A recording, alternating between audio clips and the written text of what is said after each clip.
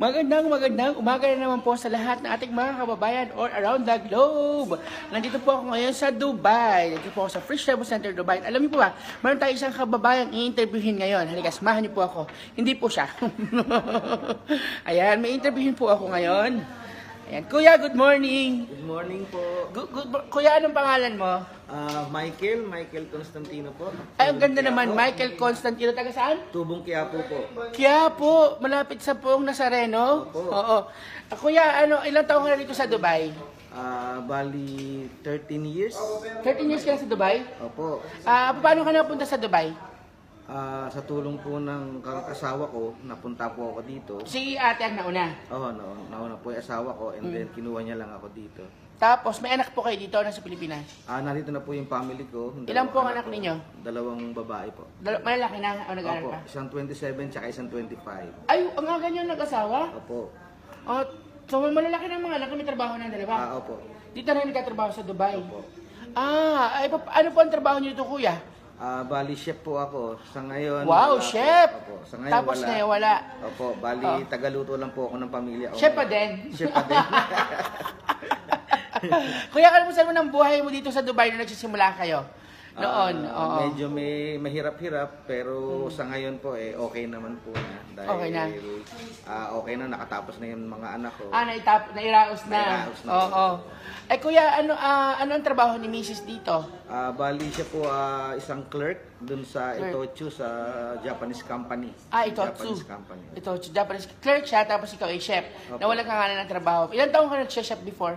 Bali 16 years na po. Saan ka nag-chef? Ah, iba yung ibang bansa na po eh. Ah. Bali galing po ako New Zealand, Australia, Jamaica. At ang pinaka-previous ko po ay Miami. Wow, social mo naman. Ano, cruise ba siya? Barko ba? Or Mm, dat- dati po ako nag-cruise line and Oo. then nakuha po ako ng Sandals Resort Mm-mm. sa Jamaica and then doon po nag nagtuloy-tuloy na yung career. Ano expertise mo kuya sa pagbubukas pag, sa, sa Ah. food? From Asian ah, from European to Asian po ginagawa ko. Wow, grabe. Pulutan ko nga. Ah, sisig. Kaya, ay ano naman dito, ano naman, paano ka manapadpad dito sa Fish Level Center at ano naging impact sa'yo noon? Actually, Ah. naglalakad lang po kami sa metro, nabigyan po kami ng flyers, ng Talaga? Nedi, opo. Di Ma'am Nettie? And then, Oo. ah tinry po namin kasi parang interesting. And then, sa awa naman po ng Diyos, nakapag-close naman po kami ng konti. Wow! Nakaka-11 11 million na ngayon. Wow, nung nalaman niyo yung business, Opo. pag 11 million agad kayo, simple lang ba? Ano ah, ah, ano bang natutunan mo pala nung umatin ka ng ating Balik Mayaman Action Program tsaka Freedom Business Action Program? Actually, noon, ang tingin ko lang is ah, puro liabilities. Kasi kotse, yun lang po. Mahilig po ako sa kotse, mahilig po ako sa motor. Pero ngayon, no, nawalan na ako ng gana kasi Ay. nakita ko na po yung kagandahan ng Fritz Revo para sa mga Filipino OFWs na nagbibigay ng magandang aral para sa atin. Wow! So nabago na, nawalan ka na ng gana sa mga liabilities. Opo, ngayon so po, nagutom assets ka na na ngayon sa asset. Opo. oh, chef na chef ka talaga. so ngayon sa mga li- assets na ang pinagpopokusan ninyo. Opo. Ngayon po, plan ng anak ko na kumuha ng kondo na naman. And Wow! So nag-invest naman kayo sa real estate. Aside Opo, sa business na kinuha nyo, mag, mag-property investment naman yung anak Opo, ninyo. Property Oo. investment naman. po. Kuya, sa tingin mo kay Mike, ano ba yung sa tingin mong dapat ah, na matutunan ng ating kababayan dito sa Dubai?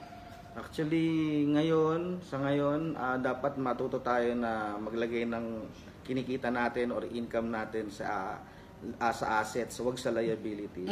Kasi ang mga liabilities eh puro gastos lamang. Kailangan yung lumalabas sa atin, kailangan na ipapasok natin sa maganda. Wow, ang ganda naman. Ang mga lumalabas sa atin, dapat ipinapasok sa mga... Ang mga powerful lang mga words mo, kuya. Grabe talaga, no? Yun po ang natutunan ko sa Preach Revo sa ngayon. Wow! At, ah, ilang buwan, malaki- ilang taon ka na ba? Ilang buwan ka na ba dito? Ilang, ilang araw? Ilang? Bali sa loob ng apat na araw, nakapag-close po kagad kami. And then, ah doon po nagsimula lahat. Kaya ngayon, ang pinag-uusapan namin pamilya ngayon, kung paano mag invest sa properties, hindi na po sa liabilities. Wow! So, na-consider nyo na magkaroon ng investment na magkaroon ng passive income into pr- form of real estate. Tapos, nagtatry na rin kayo mag-freedom business.